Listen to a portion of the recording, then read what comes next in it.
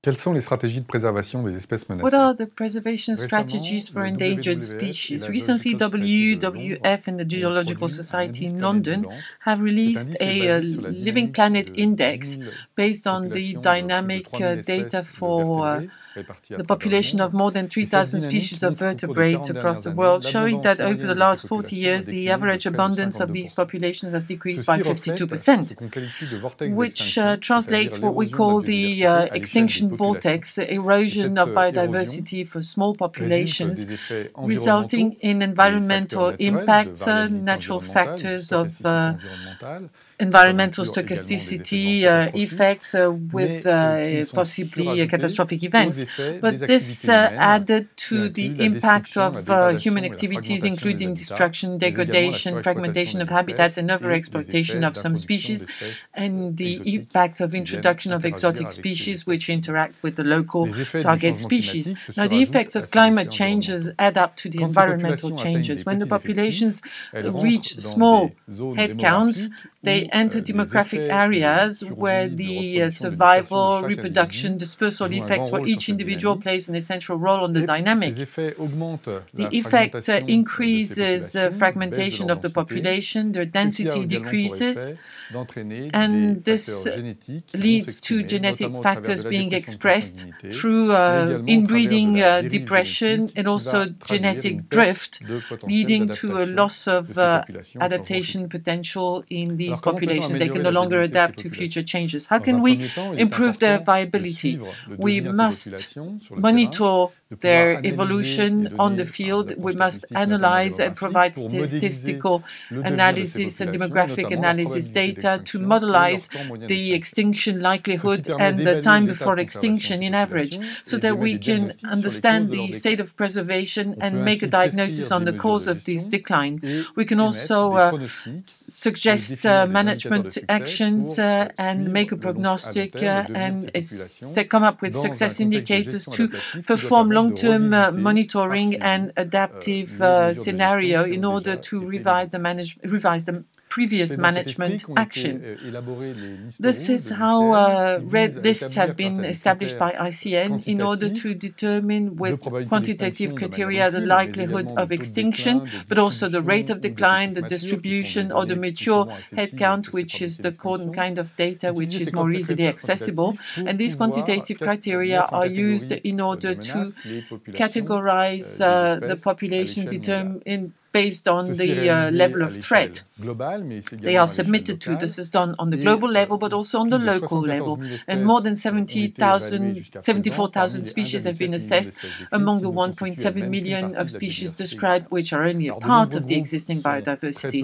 Many groups are not assessed very much insects, lichens, or mosses, but some groups have been well assessed, are well known, such as mammals, birds, amphibians, and gymnosperms, with the rates of decline that go to 13% for birds, ranging to 40% for gymnosperms or amphibians, 40% of uh, threatened species in those groups. What are the possible approaches to counteract uh, biodiversity erosion? First of all, protecting the habitats and setting up uh, protected areas on land and in the sea has been developed. There are many protected areas now, but they only cover 13% of the uh, emerged uh, land. There are definitely uh, constraints uh, on these uh, protected species, and uh, even if they continue developing, this could only reach 17% of emerged land the constraints uh, burden down their fragmentation, the conflicts with some human activities, and also this has an impact to the response to climatic changes, their capacity to react to climatic changes. But the protected spaces have shown their efficacy. If we uh, revisit the uh, Living Planet Index for populations located in protected spaces, the index is now more favorable than the index for the rest of the planet protected uh, spaces are not the only solution, but one of the options in order to slow down erosion. Regarding uh, species conservation outside of the uh, protected spaces, but also within the protected spaces, we need to uh, come up with legislation, national legislation or international agreement to regulate the exploitation of some of those species. This is the case with the Washington uh, Convention uh, by CITES regulating trade of uh, species, plant and animal species, the uh, International Whale Commission and the uh, Berne Convention.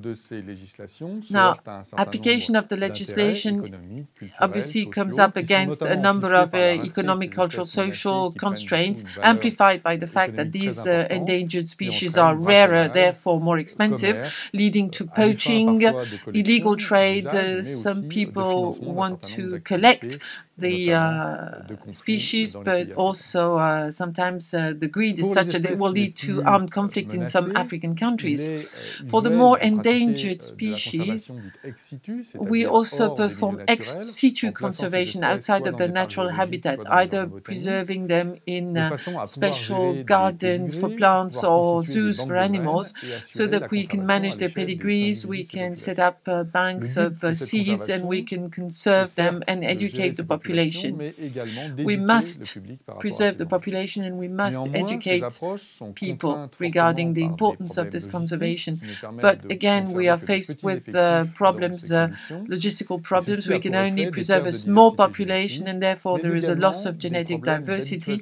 And it's also difficult to get those animals to uh, live in captivity. They are no longer in contact with the natural constraints they would have uh, met in uh, natural habitats habitats, uh, which poses problems for their long-term maintenance. Downstream of the in situ and ex situ conservation actions, we can also try to restore populations by applying what we call conservation translocations. We reinforce existing populations, we reintroduce uh, individuals where the populations have disappeared, or we perform assisted colonization when populations are submitted to the effect of uh, climatic changes and must be moved in order to be able to survive. These programs, which are sometimes successful, also lead to a number of uh, limitations.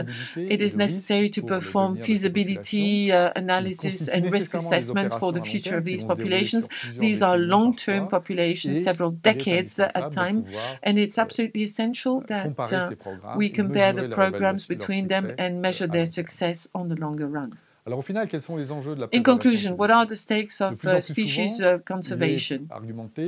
Often enough, people say that the species should be sorted out depending on their euh, level of preservation in order to invest where we have chances of being efficient, except that this would mean that we constantly ask the question, why preserve this or that species? Whereas the question should be the other way around. Why should we agree to allow this or that organism to be destroyed, wiped out.